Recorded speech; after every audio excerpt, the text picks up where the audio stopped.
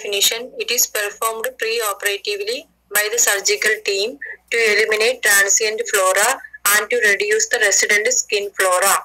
It is performed pre-operatively. Before any surgical procedures, we are doing the hand washing and also surgical team are performing to eliminate the transient flora. Transient flora means whatever microorganisms that came from somewhere else and it is in the outer body or in the surface and the, to reduce the resident skin flora. Resident skin flora means whatever organisms that is already residing in the body or hand.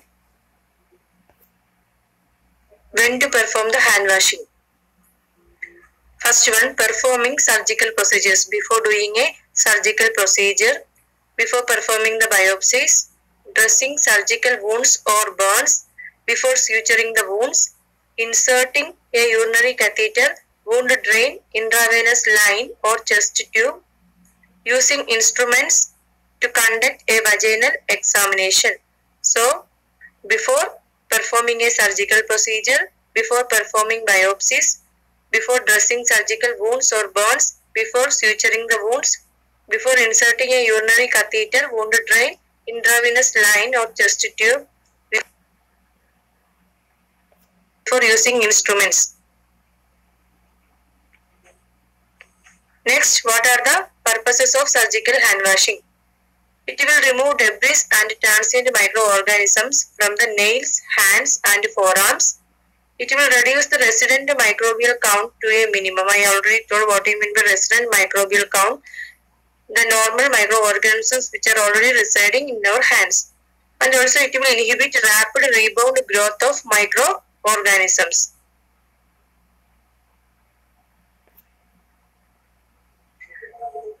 One, what are the characteristics of a surgical hand washing? So first one is antimicrobial action.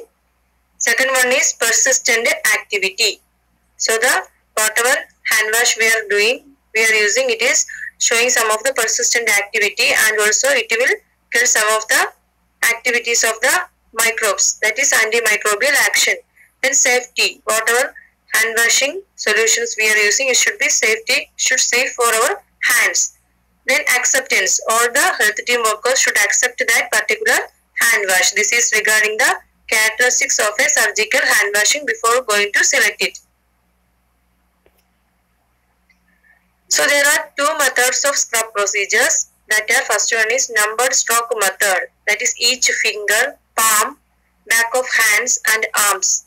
Second one is timed scrub. That is each scrub should last from 3 to 5 minutes depending on facility protocols. So there are two methods of scrub procedures. First one is numbered stroke method that is each finger, palm and back of hand and arm. Second one is timed scrub that is each scrub should last from 3 to 5 minutes that is depending on facility protocol.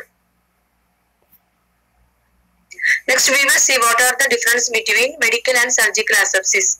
So in medical asepsis, it will reduce number of pathogens and it is referred to as clean technique. It is used in administration of medications, enemas, tube feedings and daily hygienes. Hand washing is number one, medical asepsis. So regarding the medical asepsis or medical hand washing, it will reduce the number of pathogens. It will not kill. It will only reduce the microorganisms. It is referred as a clean technique. Before going to do any of the clean procedures like medication, before going to give medications, enemas, tube feedings and daily hygiene, we can use medical hand washing techniques.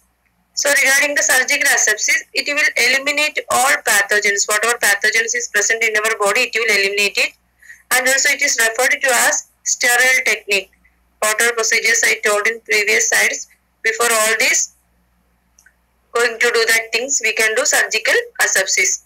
And also it is used in dressing changes, catheterizations, surgical procedures, etc. Hope you understood. Thank you.